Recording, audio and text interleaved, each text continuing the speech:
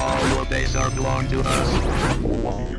This is Rob2D and the code always wins. And today I have just made a simple application here that actually can launch the Arcade 1 Up. I'm in Android Studio, it's an Android application. I've actually managed to simulate an environment at least enough to see what an Arcade 1 Up looks like on the phone and I've actually gotten it to install on phones and everything, but I couldn't get the actual games to play. So I'm in my Android development environment. From here, the application I built, when I want to test that it's going to work on the Arcade 1-Up, I'm just going to run what I have here on that emulator. So I have to open it, start up an emulator. So you have this Chinese tablet.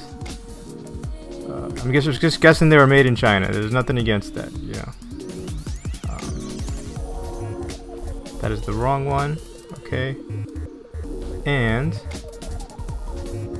we just started up another Android emulator now. This is a more modern one. I'm guessing it's like at least Android 10. So you see I have this A1U Go Crazy prototype. This is actually going to launch the Arcade 1-Up application.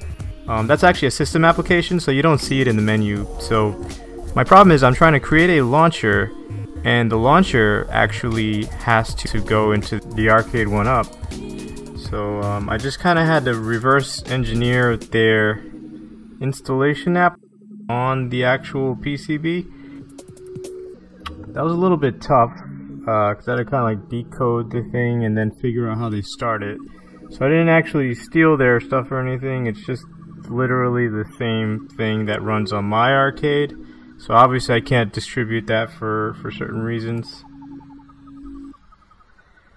Once I launch my application from the Android debugging tools, you're going to see that there's no Arcade 1-Up thing here, but I installed the uh, update installer that they give you, and obviously I can't share that because it's probably not legal, but if I uh, go up now, you'll see that I actually have this Arcade 1-Up Go Crazy prototype, and so it's got a kind of a crappy icon. I, I didn't really optimize this, but let's go check that out. Let's click this and see what happens on this Android emulator.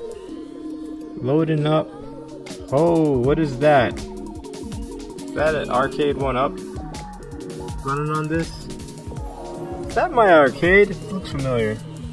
I hear that music. But there's obviously issues. You can't see the leaderboard. Um, my computer's struggling a little bit because my graphic card isn't running right now. Looks like everything just stopped. That doesn't usually happen, but let's try this again.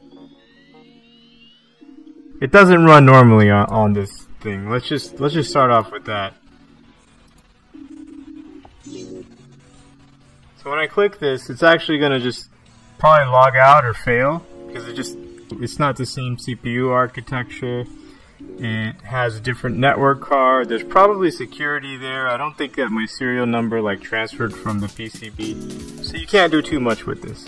But what I could do is verify that that worked because, you know, I plan to kind of like do whatever the hell I can with my skill set and but in the meantime, stay tuned. I have so much more to share. I have so many exciting things that I'm kind of like doing with this, and I don't want to share it all just quite yet. I am still working on that tutorial.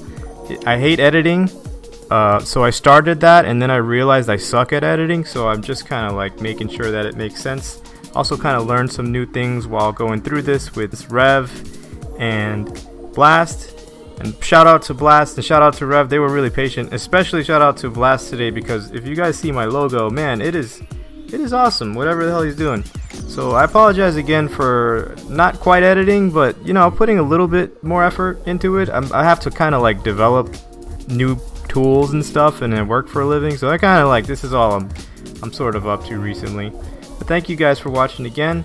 Stay tuned and I will be showing you a custom launcher for Arcade 1 Up on Android very soon. Bye bye.